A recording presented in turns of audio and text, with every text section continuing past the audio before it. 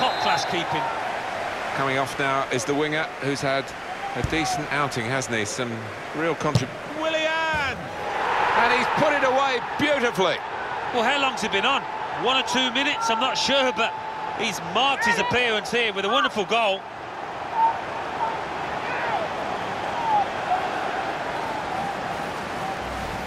So a goal for Chelsea. I think the goal scorers made the most of that corner because it was just a, a standard floated ball into the box. And that's a goal well worth analysing again.